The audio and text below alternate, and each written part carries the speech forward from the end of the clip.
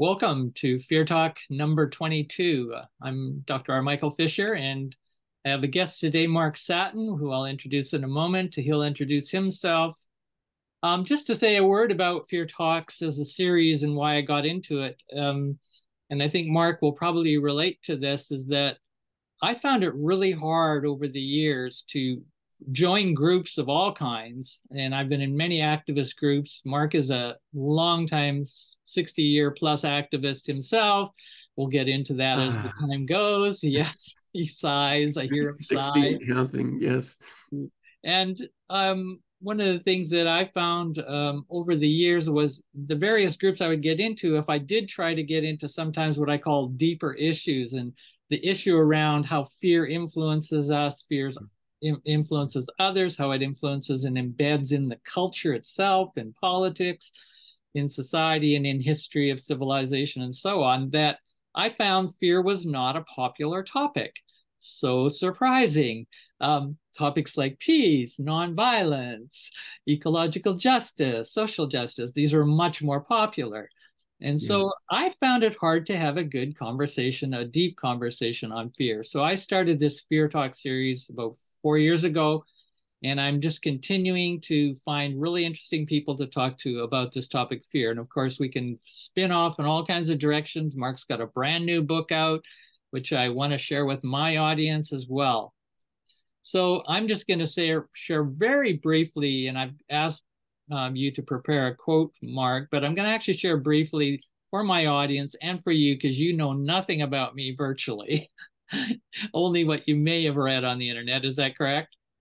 Uh, no, I, have uh, I've checked out some of your books. I mean, I've looked at them. I I haven't been able to read for ten years. Yeah. As you know, I I have uh, a terrible diabetic retinopathy, um, a product, by the way, of my uh, my self-sacrificing activist diet for uh, for many many decades. No this doubt. is one of the morals of my book. What uh, what what anger, uh, which I think you would call fear, what a what a overwhelming sense of needing to do needing to change the world immediately without caring over much about your personal needs. Um, this is what happens to you over a long period of time the, di- the, uh, the, the diabetes turned into retinopathy. So I've not been able to read a book for 10 years, unfortunately. Right. But, uh, but I'll, I'll struggle with my quotes as best I can. I actually uh, blew them up into a 22 point type. Okay, so I can, great. I can do that. But I have not been able, as I say, to read your books, but I'm very familiar of your importance as a fearologist, your pioneering work. And, and so it gives me great pleasure and uh, a, a um, sense of pride to be on my very first podcast with you. Thank you, Mark. So back in 1980, I was in Alberta, Canada. Mark, right now, I think you're living in Oakland, correct? Yes, I do. Yes, indeed. So yeah, in Alberta, and so I'm in the prairies here. This is a very conservative part of the world. 1980s. I just become a teacher. Uh, I joined this small sort of conscious community that was in this small rural town in mm. mid Alberta, Bible Belt, mm. Alberta. But there was an interesting group. 1980s, right? Marion Marilyn Ferguson's Aquarian Conspiracy just got published. Brain Mind Bulletin was being published, and some of yes. us in Canada we're getting that literature. And one person in our community actually did. And then about a year or two later, all of a sudden the book by Mark Satin shows up. You know, I just show the picture of the cover. New Age Politics. Yay. Right? Let me correct you. It showed up a year, two years before Marilyn's book was published. Right on, exactly. Hers may have reached you before. Yeah. But this one, this was this was the first uh, the first of a long line of, of New Age transformational books, I'm happy to say. No kidding. And yes. I was, of course, very politically green, even though I'd been in the rock and roll, you know, stardom since I was 14. By 1980, wow. I had never really dove into politics. And in Canada, of course, you just don't get the same opportunities that was happening along the west coast of America, etc. Right. And anyways, right. this book sold for two ninety five. I just see right down in the corner here, and that tells you about the times. Uh, it tells you about me. I insisted to my publisher. I insisted to my publisher that if he wanted to publish the book, it had to be. Um, he was going to charge four ninety five. I told him charge two ninety five, print ten thousand copies, and he doesn't have to give me a cent. Wow. So of course, um, oh, and he got all the royalties. So after Dell published it in the in the United States and it sold many many tens of thousands of copies, I never saw a cent from the book. However, um, it did reach many people at that price, and uh, that gave me great great pleasure. I think that tells I, me something about your ethical commitment uh, to. I'm not sure it was ethical. I, I think was, it is. It was dog-headed, I would say. Uh, dog-headed, yes, but I think everything I've uh, read about your books and over the while read about people who've read, it, you know, read your work and commented. Mm. But the, one of the things they do say is that you're honest and you're upfront for the most part, and you you you live what you you preach this this indeed is true. It's all it's all true. Yes. Um, inadvertently, I mean, it's not up to me that I make thirteen thousand dollars a year at this at this stage in my life, but yeah. but uh, I I ran mostly small nonprofit groups for most of my life, and and uh, of course, um, rather than um, taking large salaries, um, I would put everything into promotion and. Uh, this is this is what happens after 60 years. I'm not complaining. I'm just warning other people against this lifestyle. And part of the purpose of my book is to warn people that what seems like righteous anger, first of all, is often true anger directed at the wrong objects, one's parents, um, the world in general. Um, I have to I have to tell you, Michael, that this um, this session is coming three days after I learned that a very dear old girlfriend of mine, who's actually mentioned in my book, I can't give her name because her family and her friends do not want me to mention it. But she was even worse than me, so self sacrificing that, for example, and, and so politically pure that she was chosen over 200 people um, when I was uh, with her to to work as a military analyst. She'd been a over 200 people, including Ivy League grads, which she was not, to do that sort of work. And after a couple of weeks, she decided to quit because she just couldn't deal with military stuff. But I think, as you would point out, um, a lot of it was fear, Michael. She just didn't want to confront the ugliness of the world. And she ended up doing wonderful work, mm-hmm. but not at, at, that level of importance.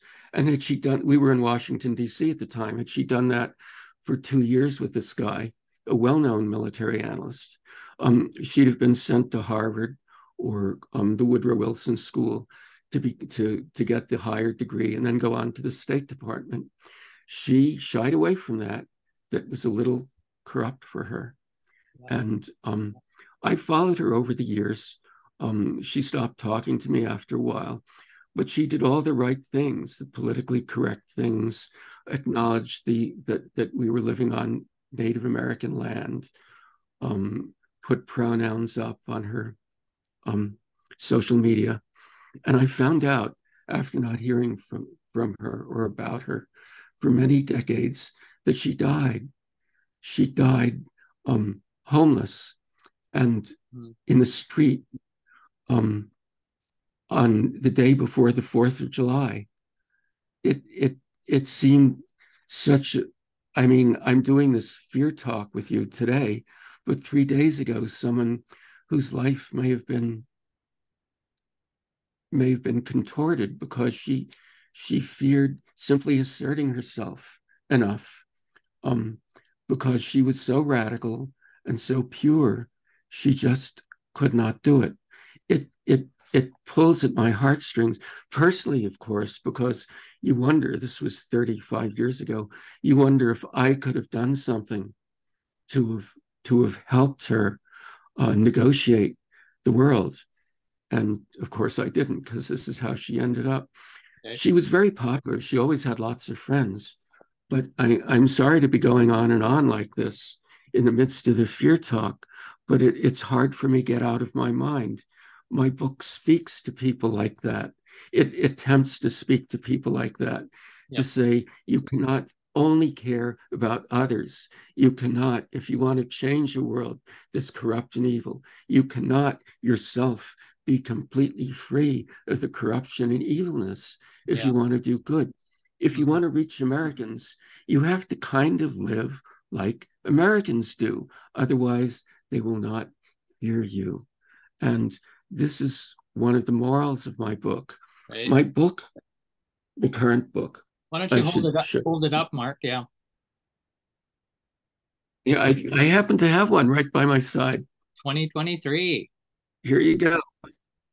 Yeah. Up just, from social. Yeah, just last month. Up from socialism. Just Here's pull it, just pull it back a bit. young man. Yeah, just pull it back a bit. You, can you can you see? Yeah, if you can you see the sky and down a bit. I, yeah, perfect. Okay, up from socialism. This is not an attack on socialism. I'm okay. just trying to get Americans to to or radicals to move beyond um, socialism and come up with their own political point of view already. Not a rejection of socialism, but an incorporation and going beyond.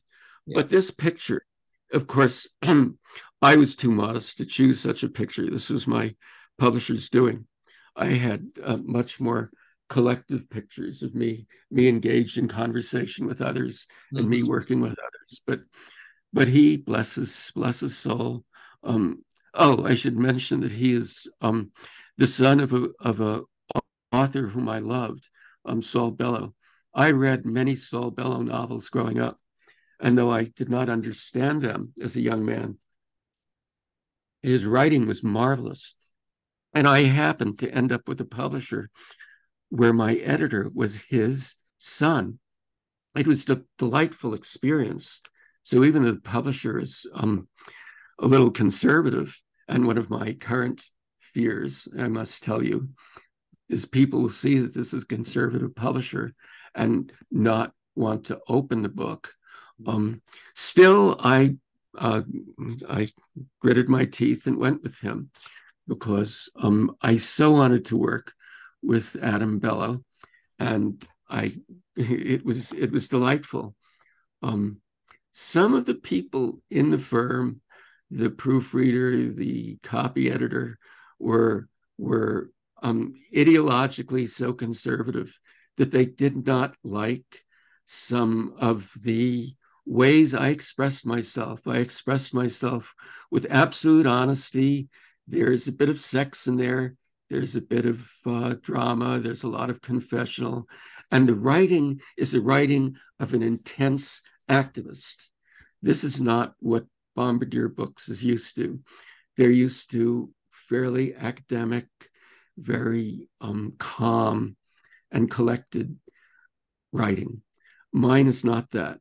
And it was a fascinating exercise in doing just what I say people should do in my book. Um, I say we should try to communicate with people who are not like us mm-hmm. as much as possible. And even though it's difficult, in the end, if we do that, it's the only way we'll be able to come with solutions that are truly radical. That is, solutions that take all of our wisdom and put it together. Anyway, all of our wisdom went into this book. Uh, they bent toward me a bit, and I bent toward them a book. Nice. Uh, and the book is now, um, I think, readable both for them and and for me. Nice, nice. So there. Yeah. So people who are listening today and maybe not know you too well, I will put all hmm. kinds of links to your work, to your books below in my video on the YouTube. So I'm mm. not going to do a big bio of you so much as let's just can have, have more of the conversation. And you've been yes, definitely please. named, and you I think you named yourself somewhat along the line of a visionary activism. You're interested in a visionary act- activism we could call this a transformational politics. You've named it different things at different times in your career. I see yes. neo pacifism, new age, yeah. radical yeah. centrism. It's very old. Yes. All, all those different yeah. terms, right? Over right. the years. But visionary activism, um, why would why does that appeal to you? Because I realized early on that the old political points of view were not so relevant in the world I was entering. Um, I I grew up in Texas and was sent to segregated public school, that is um, white whites only public school, and it seemed so wrong to me. There just seemed to be such a loss that as soon as my parents sent me away to college, I dropped out and went down to Mississippi to work for the Student Nonviolent Coordinating Committee, the most militant activist group working in the South at the time to try to integrate the community. But within a few weeks, I realized that this was not what I thought it would be. Rather than trying to integrate the public schools and the, and the uh, public accommodations and all of that, these folks were marching to a different drummer. They were affected by um, Black nationalism and by socialism. And rather than listening to the people in their community who wanted no more than just to break down the Black white barrier, this SNCC group felt that that was the job of the NAACP, or what they used to call contemptuously the NAA. And they were going to introduce Black nationalism into Holly Springs, Mississippi. This seemed pointless to me. I, after all, had grown up in a segregated community myself. I saw that this, this, if they wanted to go on and do this 20 or 30 years hence, that would be wonderful. But what we really needed to do now was integrate the place.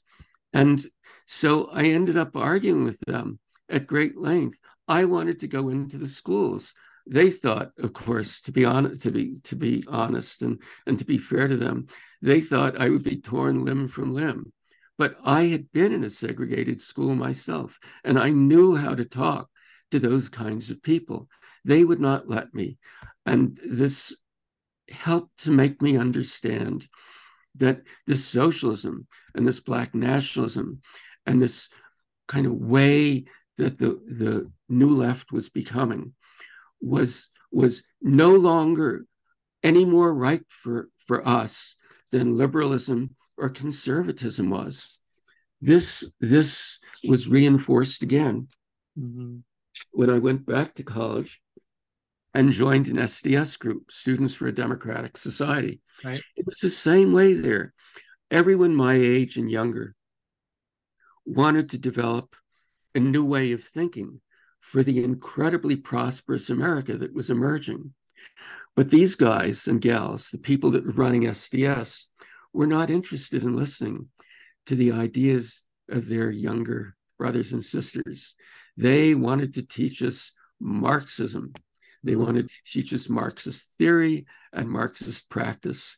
So I ended up taking over that SDS group, and uh, uh, for one for one happy semester, we uh, we were uh, we were able to to bring in the ideas of people like Jane Jacobs and Carl Rogers right. and the, the, very early New Age stuff.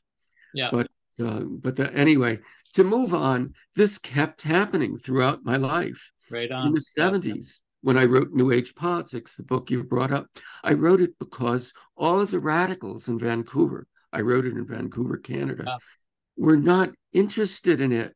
I was having to bring to them this wonderful stuff, the Hazel Henderson stuff, the Marilyn Ferguson stuff.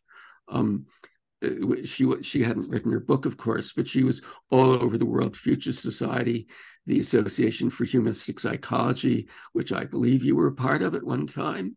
Were you not? I just yes. wrote an article for them. It's 1997. Oh, beautiful. Yeah, yeah, yeah. Um, so I New Age politics was written basically for my radical friends, telling them, look, we put together the all these ideas that are coming up in appropriate technology, spirituality, ecology, all this stuff which is outside the Marxist worldview at the time. Yeah. If we put all that together, we can come up with a new ideology, one that's right for our time. Anyway, this is what you were calling by all those names, and that I was calling by all those names, depending on what seemed right at the time. Essentially, it's the same thing that I'm calling transpartisanship or um, radical centrism today, but with one huge difference.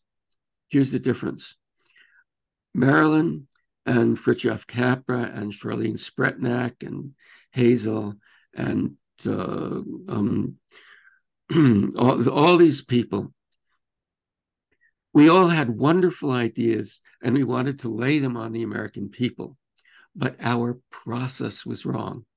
We did not know how to communicate these ideas. And this is why I wrote the book that I showed you with that wonderful androgynous person on the cover that's just come out.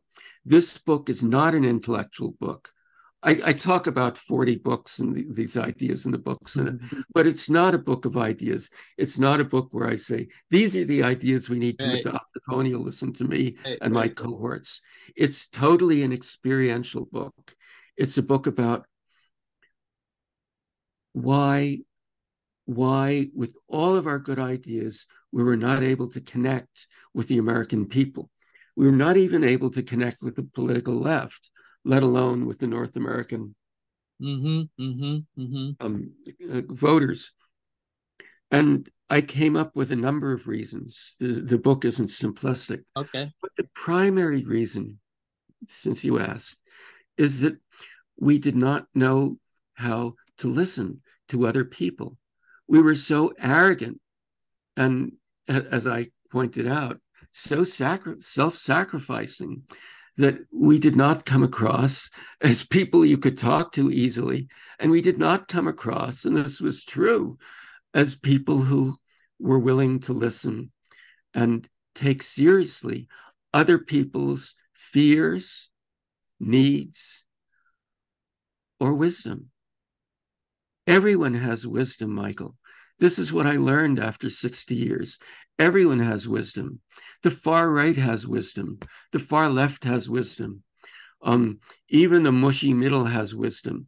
And mm-hmm. many people who don't fit into those categories have have magnificent wisdoms that that we need to listen to if we want to create a, a truly radical and truly life-giving society. So this is what all of my experiences came to after 350 pages in the book.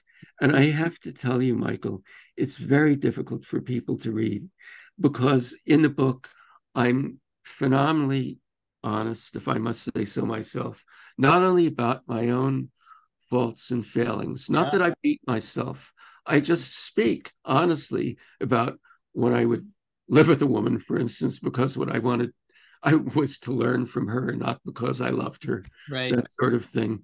I was also honest, uh, preternaturally so, about other people, about my relationship with my parents, about um, women, about extensively about my colleagues and how we fought with one another.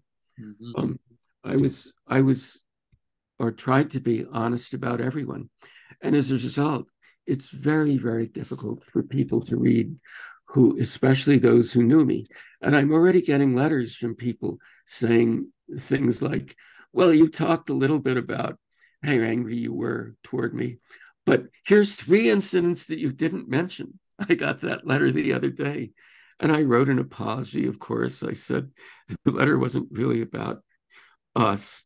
Um, but anyway, it's too late to apologize. I said, and then I said something like, but I want you to understand, but I want you to know that I understand how much was lost. And that, I mean, could be said for many of the relationships that us activists had with each other and for the missed opportunities we had when we created our groups. The New World Alliance, for instance, yep. which was a green group in the United States, mm-hmm. five years before the Greens set foot here. But we weren't able to pull it together for reasons that I explain ad nauseum in the book. And I have quotes from us and dialogues of us and dialogue with each other, showing how time and again we hurt one another. I don't go on and on about how we hurt one another. I just throw show through dialogue how we did and how this hurtfulness made it impossible for us to translate our ideas into ideas that we could bring easily and successfully to the American people. The thing is heartbreaking. I spent many tears. Yeah, for sure. Over the last six years. Yeah. Um, I guess that's what I'm picking up. You know, it's it's so good listening to you because I, mm-hmm. for many reasons, feel a mirror image of a lot of what you're saying although I wasn't on those front lines like you were up here. Mm-hmm. It mm-hmm. hasn't been my path to do so, but I was always following those movements. I was trying to do what I think you do is synthesize, synthesize, stand back, yes. Look at the more integration of the different polarities of the just multiple perspectives, and yet still keep still keep this liberational emancipatory interest and that mm-hmm. everything is not equal but everything has something to teach so I yes. am very much of that ilk. My work, when I you see it and read it about fear, particularly, I do a transdisciplinary approach. I am not interested in one discipline, one ideology determining what fear means and how we should manage fear. So I yes, yes. similar perspective to you. And and then of course you get into such a mess because the people who are totally committed to the neurobiology and psychology of fear they do not want to hear about the philosophy of fear, the theology of fear, you know, the sociology. And sociologists don't want to hear from the psychologists. Of, course, of course. And all of a sudden you're into whether it's you, right, in all these groups, these activist groups, or whether it's the disciplines of knowledge and knowing in the academy or even in popular culture those do not want to do a lot of listening to each other. So I am very much on track with you. And I want to say is that Yes, I, am not surprised, Michael. I know your work well enough to know that. And the you, fact you we're here you talking, wouldn't fight together, everything I say. Yes. Yeah, the fact we're here talking together, I think, tells we have this sensibility to this integral. I call it a critical integral perspective. And mm-hmm. different mm-hmm. reasons I use that. I mean, Ken Wilber's work as a model of philosophy, a critical integral philosophy, interested me long time ago in the early 80s and I said, okay, now that's respecting all of the differences, the levels, the perspectives, the historical right. context of knowledge. And yet, what I learned too is that why the intolerance to that other, if we want to call it, right, the difference, the other, whether that's a strong political ideology per se, or it's an epistemological, you know, um, digging in to a particular way of knowing, yeah. right? What I learned is that yes, I will turn use some terms. There's a, a lack or of development. It's not people's fault per se. I find it's bred into this education, and I'm speaking mainly about the West. That's where I grew up. So I'm going to just speak about us here in the West. And of course, lots of diversity in that West, but there's still an education, public education system. I'm a professional educator. I study this stuff is that there's a lack of existential capacity. And again, no one's fault. It's like bred into us to not be okay with not knowing everything. And so you talk about that righteousness, right? That can come into a really good movement, but it's mm-hmm. so filled with the righteousness of we've got it, you need to get it and all of a sudden the possibilities of a real transformational co-mutual change a grounded in good listening deep empathy exactly. and compassion. Yes. so i call it an existential incapacity and then that i link to because we have been taught to handle fear our fear experiencing in a way that keeps telling us it's a threat.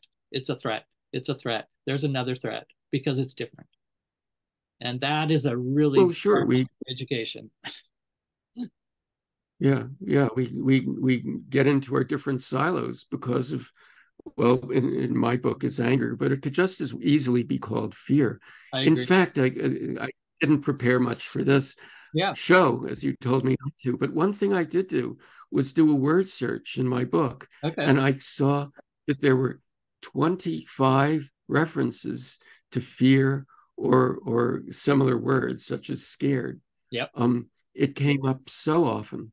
Cool. And one thing you might be interested in, you mentioned Wilber. I did when I was writing a book, I used um, the chart that Ken Wilber uses. It, it was actually the version that uh, Don Beck did. Oh yeah. Um, where you may recall he has colors for the different stages. Yeah. And uh, you go you go from uh, you go from the bottom bottom angry stage to the uh, to the orange um, uh, stage of uh, of of trying to achieve in the society mm-hmm. to the green stage where you're more holistic to the stage of pure wisdom and then spiritual stage. I i use those colors in the book. Did people you? who love those stages i didn't know you did. or may notice that that those stages are in there. Okay. Yeah i had it in the acknowledgments but I took it out at the last minute. Oh, did which you? Which is okay. kind of interesting yeah. because I experienced fear. I took I didn't take the colors out. Okay. You can see that um, the people who I felt were most spiritual had a turquoise scarf or wore turquoise mittens. Okay. I mean, it's in there. Turquoise is the the yeah, highest yeah. of of Don Beck's stages. Sure. And this is, of course, the spiritual stage. But I took I took the description of those stages out of my acknowledgments, both because I feared that it would turn people off. Yeah. Um, right. People who were familiar with spiritual humanistic thinking. Mm-hmm. And um, because I, I, at some level, I didn't buy it because I felt there was some kind of arrogance in that chart. Yeah. For example, I'm not convinced and I think this is true with Wilber too, he's not convinced that all the expressions of green are truly holistic. Some of them are what uh, are what he calls false green, and a lot of the green that I describe in my book is false green. And I just didn't want to go through a long explanation yeah, exactly. in the acknowledgments yeah. to how people should not take all of these colors altogether seriously. Oh, yeah. So I removed the chart but it's kind of fun. I think people listening to your program will enjoy knowing yeah. that if they look for comments in my book, they will find Don Beck slash Ken Wilber's slash um, colors in there. Yeah. Well, there's a true a visionary healing, you know, politics that you had. I, I was just taking a quote from one of your book reviews and you're basically it says and i think it's paraphrasing you if we were willing you're talking about let's just say the activist community at large if we were willing yeah. to address all the behavioral intellectual and attitudinal issues we would have done a lot better and you basically i think said it was because we have this quick easy attachment to political ideologies that overtake our common interest in a common humanity. And exactly. That's very holistic, right? Behavioral, intellectual, attitude, and I'm sure you could have put emotional there. Uh, yeah, yeah, I, am sure I do. Some some other parts in the book. Yeah. The, the green the green organization which eventually turned into the US Green Party okay started out with that point of view okay um, I didn't know that it was extraordinary in the very early days I mean, their slogan, one of their one of our slogans was um, neither left nor right, but in front. And the idea was to to listen hmm. to everyone in our in our uh, um, 10, 10 uh, key values, uh, the statement of which I, I helped to write. We not only had the ecology and the spirituality, we had such things as um, um, fiscal responsibility, something that only the political right was talking about at that time, and unfortunately at this time. Mm-hmm. Um, we were willing to do this, but because of our own fear of being rejected by um, the political left, we did not pursue that. And ultimately, we fell prey to the far left. And the, as you may know, the US Green Party, unlike the German Green Party, by the way, the US Green Party is now totally a creature of the far left. It's okay. also phenomenally incompetent, okay. which I find not not disconnected to the to the presence of the far far left. Yeah, um, for sure. Yeah, even I, I see the refused to run under that under that banner. I think as soon as he saw how how pathetic their uh, their their um, strategists were, um, he left to run his own independent campaign. Okay. Anyway, um, not to. I have your other book here, of course, which stones. came out, New Age Politics. Yes. Um, yeah, this is that's the update. A little bit different title. This is 40 year anniversary edition. I just want yes. our viewers, Mark Satin again, our only real alternative. Yes, what you're trying to go to, and in the back of there, there's a section I was just picking up eight principles of solidarity that were part of the Occupy 2011 movement. And yeah, no doubt you were part of that or interested in it in various really ways. interested in it. Yeah. Those, yeah, those principles. But you'll see also very close to that is a couple of principles from the Tea Party. Oh, is there? Yeah. Yeah, yeah. There's principles from I think eight or nine groups okay. that, I, that I listed side by side. And of course, the point is we have to take them all seriously nice. because these are these are engaged Americans, caring Americans who think deeply about our problems, yep. and they're not off base. They just see our problems and our possibilities mm-hmm. different points of view. Number and, seven eh, on those eight principles, by the way, is the belief that education is a human right. And I circled yeah. that and I said to myself, well, that's interesting. So, uh, just a little short story um, as an educator.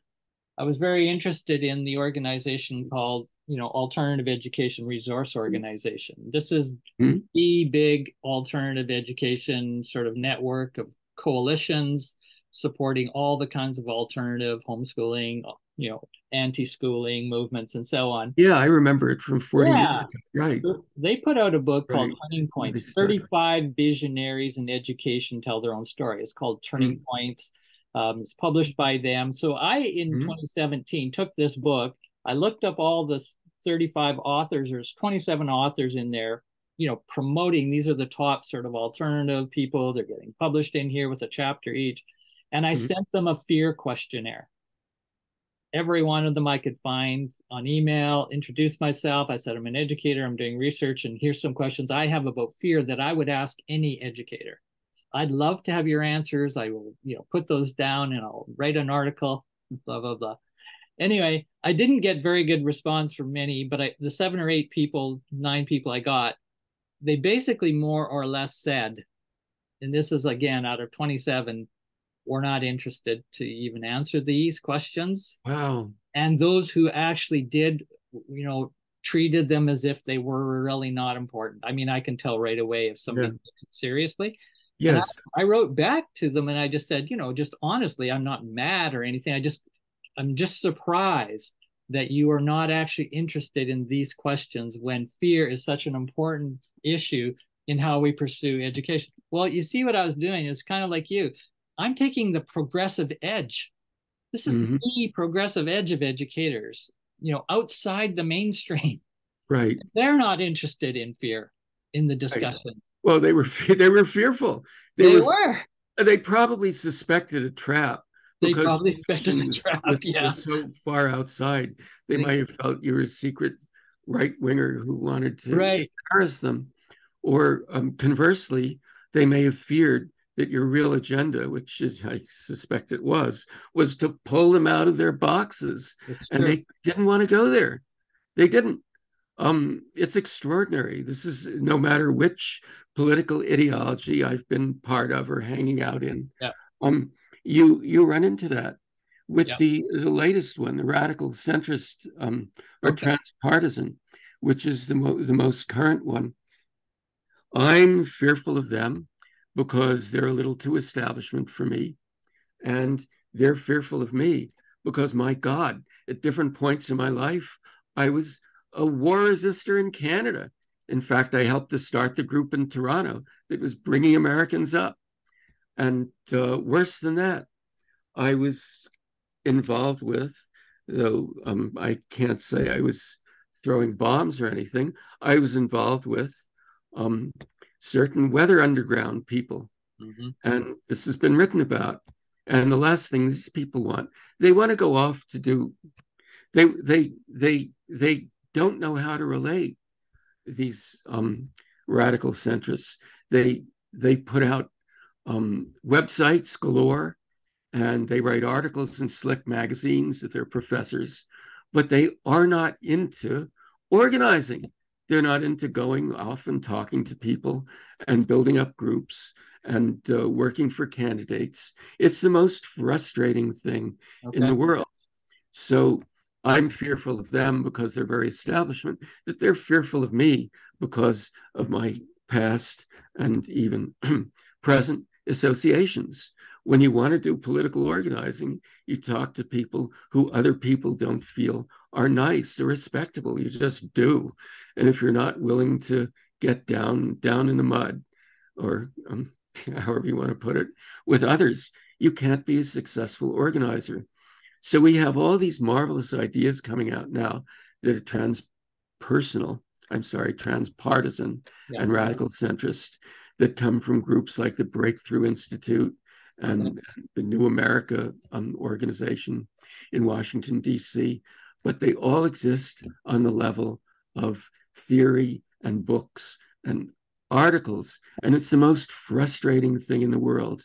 Okay. God knows one of the reasons I wrote my book is so, and I say this in the conclusion, is that so young people would be turned on enough to the ideas that I write about and to the to the to the pain that I write about in the book that they will take up the cudgels of um, this transformational approach and listen to everyone and do the organizing that's necessary to take the ideas out of the realm of theory, writing, and pretty websites. And Thank you. Uh, Thank you. I, I, no, no, no harm intended. Um, very intelligent and insightful podcasts. Yeah, I hear you. I'm going to have you read your quotes in just a second here, um, but let's just do a, a, little bit of a circling before we get there.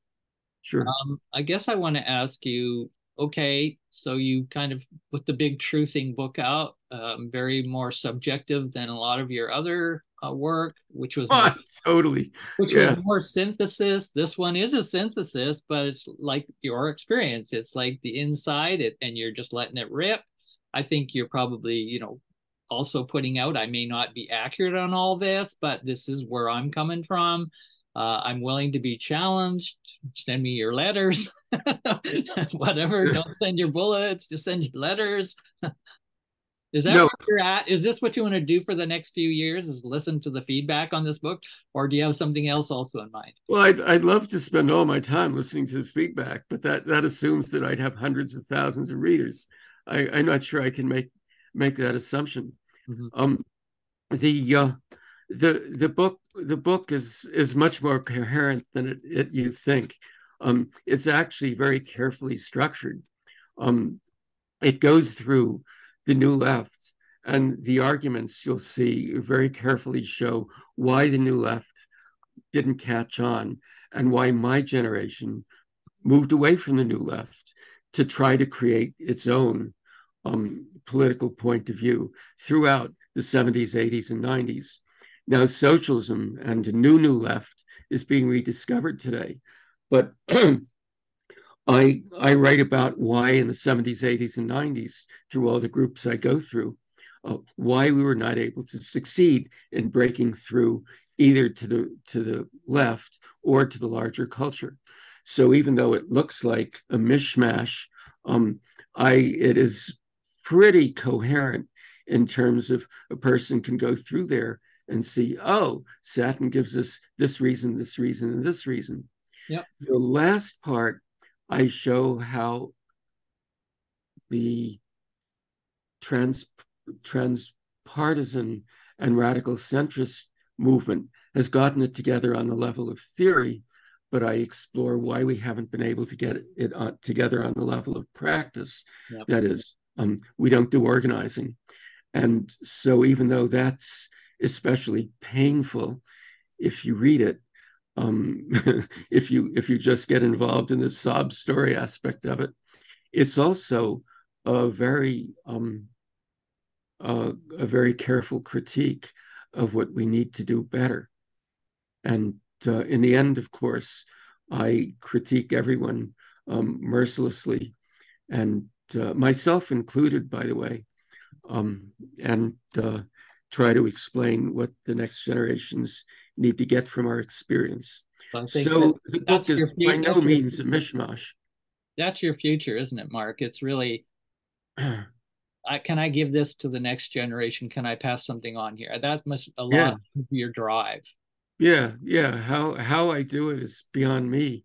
Um, I just hope I don't lose my eyesight before before I'm able to do any of it. Um, as, as you know, I walk around Oakland with uh, with dark glasses and a cane. Yeah, um, we'll we'll just see. We'll just see if my you know 50 years of activist activist work, not caring about my own body, um, if I can hold on for another five or 10. Um, but I don't I don't know what I'll do. Um, I I it's from from what it sounds like on university campuses, the left will hate me and the right will hate me. I so don't know that. Who someone someone may care to bring me in. We'll see. We'll work on it. Um, could yeah, you, you could you bring your quote that or a couple quotes you had and let's share those as we go out and okay. I so appreciate you doing this. Well, let me see. Let me see what I can do. Yeah. Let's see if this light. I may need this light. Yeah, do the best you can. Does it uh, ruin the picture no, too much? No, you're fine. Okay, good. So here's my thick glasses and. And just this, say why you picked what you picked as well. Well, I, I picked a couple things. Um, we may have we never covered it all. Um, okay. Here, let me see. What would what would be good here? Why don't I read uh, my redefinition of radical politics in America? Lovely. This may this may be a way to go out. Um, this is from the introduction of the new book, and it's uh, it's it starts out with this letter. I actually wrote the whole book as a letter to social change activists, though, of course, it's for um, everyone else as well. Here, let me. Ah, okay. This is in 22 point type.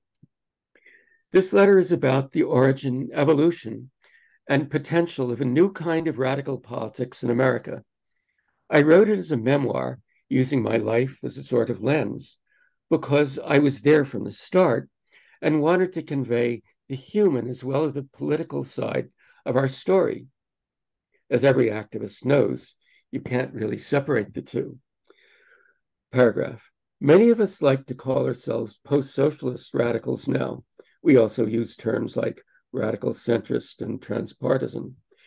It's not that we, we're unhappy with socialism being out there I really need to put that in because they, they titled my book Up from Socialism. it's just that when formulating policies, we draw from diverse other perspectives as well. To us, everyone has a piece of the truth right populists and left populists, libertarians and greens, biblical Christians and Islamists. that, that line is particularly relevant today. Turning Point USA and Black Lives Matter three dots, everyone. And, and here, this is the key sentence. this is the real re redefinition. And the more radical you are, the more willing you are, um, not to say I'm right and I'm wrong, I'm extemporizing, but to listen to, respect, and accommodate everyone's most vital interests as distinct from their emotionally expressed public positions on issues. You see, that's what you were talking about. You get it got below the anger, below the anger to the fear, to the feelings, to the um, to the wisdom. And once you do that, on the grand scale, a new political ideology will arise. And on a smaller scale, we'll be able to come up with truly constructive um, alternatives to, to problems that seem to be tearing us apart from affirmative action to immigration to whatever. Yep. This is my hope. And I demonstrate that in the book to the extent that one person can, though obviously this has got to be a collective, collaborative work of many. Well said. And not just on paper. Yeah, not just That's why we need organizing. Yep. So, okay. Lovely to talk to you again, Mark. Uh, oh, it's been so much fun. Has I, it? I'm so I I so enjoyed it, and I I so enjoyed the the back and forth of it. Excellent. We'll see you next time. We'll get this Thank up you. on YouTube, and we'll keep oh. stay in touch. Same, same. All the best. Good luck to you in your work.